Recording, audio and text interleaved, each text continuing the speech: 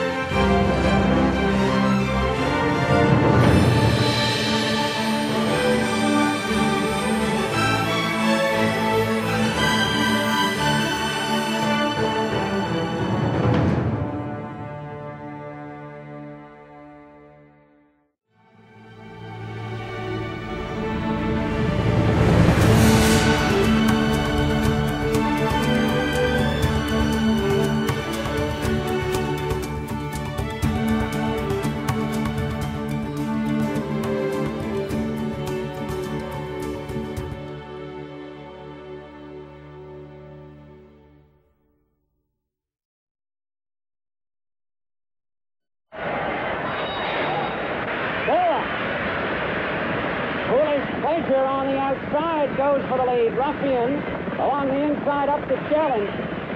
Ruffian on the inside now gets to the front by a head. Foolish Pleasure on the outside is right there. She's in front by a head. He's on the outside. Now there's stride for stride. Down the back stretch, past the first quarter, Ruffian has the lead by a head. On the outside, Foolish Pleasure staying right with her. They continue down the back stretch. It's Ruffian on the rail in front by a head. Foolish Pleasure is on the outside and challenging.